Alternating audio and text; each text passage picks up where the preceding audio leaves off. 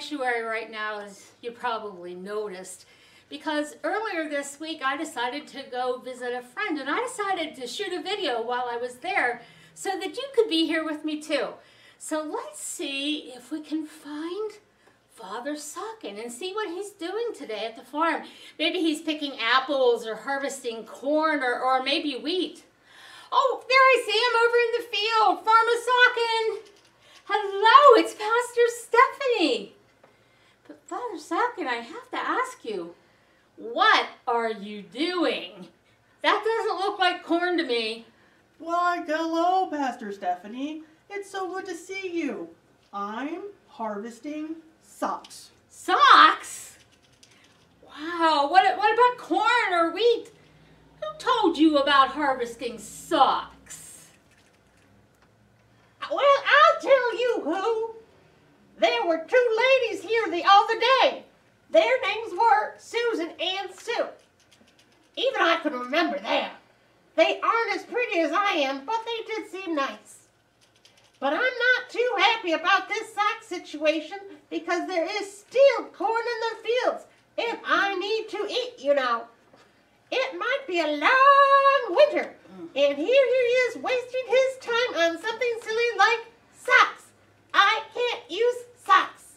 Pearl, how many do I have to tell you you need to think about other people, not just yourself? We are harvesting socks for a special cause. I've already got the harvest of the corn on my schedule. You know I've always taken care of you. Look how beautiful and healthy you are. Today, we need to focus this harvest because we're going to help other people. I am beautiful. Father Sokken, that sounds like such a very nice thing for you to do. And Pearl, you know what? He's right. We really do need to think of other people, not just think about ourselves. Jesus tells us we're to love all people and we're to take care of them and, and help people who are in need. Father Sokken, I'm so glad that Susan Scott and Sue Gibson came to see you. They probably mentioned it to me and I probably just forgot. I do that, you know, sometimes. You helped us with so many other mission projects in the past.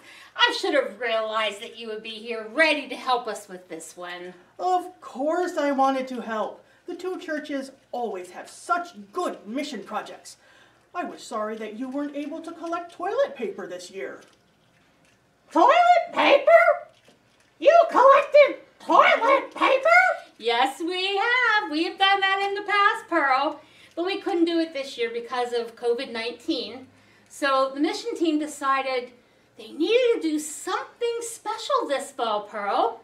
So they decided we would harvest socks. The socks will go to the Department of Social Services, and they are also going to go to Rise Above the Streets.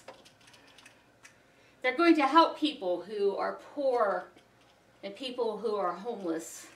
You know how bad our winters can get around here, and people need to keep their feet warm. I'm lucky. I have a really nice coop to stay in when it is cold. And he's lucky because I give him eggs to eat. We are very lucky, and that's why we need to help other people. There are even more people who need help this year because of the virus. Right. Well, I'm lucky to know both of you. And I'm going to take your harvest back with me today.